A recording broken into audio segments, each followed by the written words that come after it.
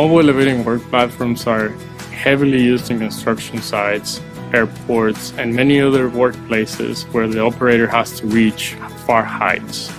MEWPs comprise traditionally very long hoses. Those hoses are usually routed throughout the machine structure, which lead to not only expensive operating costs and production costs, but also service costs. Additionally, those machines traditionally leave the operator on its own to maneuver the machine around very challenging areas and usually avoid those objects. Here at Bosch Rexroth, we focus on four focus areas for this application. Focus on the electrification and improvement of efficiency of the system. We focus on increasing the operator awareness and obstacle detection. We focus also on improving the operability of the machine, but also finally on the reduction of the complexity of the system, the weight, and ultimately the costs. We have addressed the state of the art and challenges of this application through the development of a system functional bundle called Decentralized Boom Control, or DBC. The system ultimately increases the efficiency of the system, eliminates the complexity of the control elements being in a central fashion, it allows for the operator to have more electronics to its advantage and increase its awareness of the surroundings, but also minimizes the machine weight, energy consumption, and improves the productivity of the machine.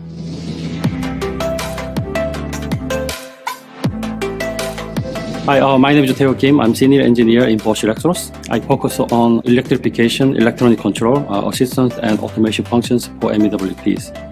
For the traditional system uh, has a centralized manifold, which has a pair of uh, uh, hydraulic hoses to each actuators. The traditional systems for the simultaneous motion for unevenly loaded actuator, they use hydraulic compensators and multiple pumps to achieve that. And this contributes negatively because adding complexity and adding cost to the system. In our DBC system, uh, we replace those hoses to a pair of central common hydraulic hoses, which interconnects all the actuators and its control elements uh, attached on the actuator. So by doing this, we modify the three uh, actuator to the decentralized system, and the required hydraulic hose length uh, reduced 40% uh, compared to the existing machine. The benefit of reducing hose length 40% uh, will uh, reduce the system weight and also uh, reduce the complexity of the uh, hydraulic system and it will uh, reduce the cost of the system. Our DBC functional bundle exploits uh, single actuator control uh, using uh, throttleless actuation. This is by controlling either the displacement of a variable pump and electric motor speed.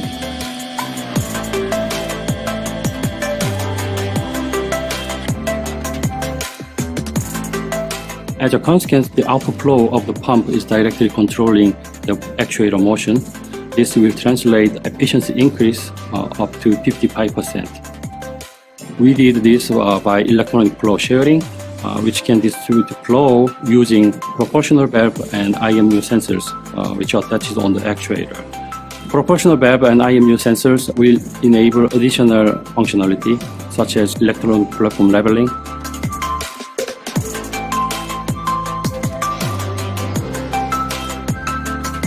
which can remove the existing hydromechanical leveling system. And the benefit will be uh, reduced weight and the reduced cost. For this kind of simultaneous motion uh, of a pump and electric motor, uh, we developed advanced control uh, for the pump displacement and electric motor speed. So what we have implemented is we embedded a full efficiency map into the our uh, Rexroth RC controller and do the instantaneous optimization.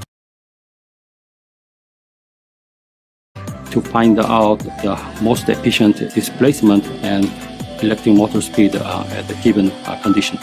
This will lead to additional efficiency increase up to 10% uh, compared to the non-optimized control. With the smooth operation with our DBC system, we can make a cup of tea with a spoon attached on the platform.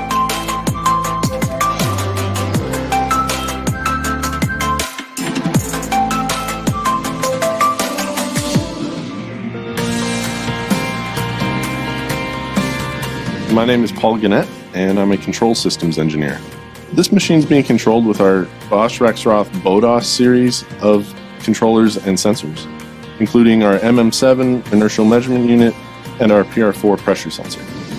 The MM7 inertial measurement unit is used to compute the angle and speed of every joint in the system, which is used to do advanced control techniques.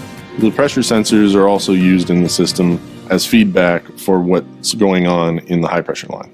The RC controller reads all the inputs from the operator and the sensors at 100 times per second, does the math to compute the speeds and trajectory of the machine, and then outputs current controlled outputs to the valve and sends CAN messages to the electric motor controller to control the speed of that motor. Our software is fully customizable. Using model based design, we were able to plan ahead for many different architectures of system with fewer joints, more joints, rotational or prismatic, and we can customize it for any customer. Our software supports both diesel and electric machines, and we can control our pump in three modes. We can have a fixed displacement mode, a variable displacement mode, or if we have electric motor control also, we can optimize the efficiency by controlling the motor speed and pump displacement simultaneously. To the topic, the right drive characteristics in all situations. Our new answer to the question torque or speed is get what you need Discover what software can do and find it all in one hydraulic solution for all your compact vehicles. Our holistic approach for the pump hardware and control concept enable a simply switch between torque control and speed control. The new unit, A4VG Series 35, can now be combined with sensors, for example, pressure, speed, or angle as a virtual value, and the like. The hydraulic functions are now provided via software control. And to make this possible in software, we have optimized the hardware first. It's very simple. You have to know hydraulics to control it in electronics. Let's take a closer look. The first aspect is hysteresis. We have managed to reduce it at the pressure reducing valves and the stroking piston system. Scattering tolerance is now optimized thanks to the pinion housing to the port plate and distribution plate to the port plate. Optimized swivel out behavior thanks to the improved retaining system to enhance the fine controllability in a small command range. Furthermore, improved pump characteristics includes the optimization of the stroking piston system, the reversing notches, and the timing of the distribution plate. Next, enhanced load capability up to 530 bar. Thanks to the optimized rotary group, port plate, and cradle bearing. Last but not least, higher fundamental dynamics. That means hardware is no longer a potential bottleneck for open loop and closed loop control strategies. It's this hardware expertise and know-how that has allowed us to transfer control functions into software. So, what's the essence? From a hardware point of view, the pump hardware clearly represents intelligent simplicity. However, you might ask, does the switch towards software really make it smoother for you? Rest assured, the shift is not only from hardware to software, you can now control the functions instead of the complex physics of the hydraulic pump. In addition to our optimized hardware, our Bodas pump driver pushes the performance boundaries even further. How? Model-based control enables self-learning features like compensation of series and aging tolerances. Flatness-based feed-forward control enables extremely fast and stable pressure control. The state variable filter enables a seamless meshing of command values and limitations without discontinuity. The trajectory planning method enables maximum pump dynamics but without unintentional overriding and overshoot effects. With the physical interface, you can control the pump without pump knowledge. Last but not least, fast and precise automatic calibration is enabled through the pump knowledge and characteristics. After all, it's the combination of a map-optimized, undamped pump characteristics with smart control algorithms that has allowed us to transfer hydromechanical intelligence into software. How this works in practice? Let me use a system schematic of a simplified machine control. The driver's request is transmitted from the HMI to your functional software. This passes on a request to our BODAS pump driver, which calculates the pump input signal according to the selected characteristics and transmit it back to your functional software. There, it causes exactly the motion of the machine you need. The BODAS pump driver runs on your machine ECU, which can be either a third-party controller or a BODAS controller. The BODAS pump driver provides just the functionalities. You retain absolute control over the overall characteristics and behavior of the machine. On the same piece of hardware, different control concepts with totally different characteristics can be emulated. Mainly pressure control and displacement control. The BODAS pump driver also provides a range of comfortable setup functions to save your time and your effort such as automatic calibration and electronic pressure cut-off. Let's put the different control concepts and characteristics to the test in real life. We are going to see a vehicle demo with uphill movement to represent load changing conditions and the initial vehicle speed is set up to a constant value via a potentiometer. First scenario, automotive load-dependent pump control. On level terrain, the vehicle travels at a constant speed. Due to the load increase on the hill, the vehicle speed decreases up to a certain point. A further increase of the load by the step stops the vehicle. The driver must increase the tractive effort by the pedal in order to continue driving. Second scenario, proportional load independent pump control. Again, on the level terrain, the vehicle travels at a constant speed. Despite the load increase on the hill, the vehicle speed remains constant. Even the load increase by the step does not stop the vehicle. So, to come back to the initial question, torque or speed, we have taken the or out of the equation and thereby enabled a simple switch between the two. With this flexible concept, the benefits scale up to create highly economical and productive value of your mobile machines. In development, with a reduced engineering effort and simplified machine assembly. In logistics, because now there are less pump variants to consider in your supply chain or warehouse with regard to modularity because one important result of electronic control is the extended applicability of the machine. Plus, you can implement new vehicle features, just for example, torque limitation.